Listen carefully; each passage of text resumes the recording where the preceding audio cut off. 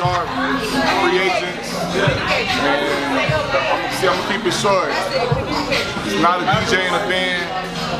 It's a band that rocks better than most DJs. Catches at the O Lounge every Saturday starting at 10 p.m.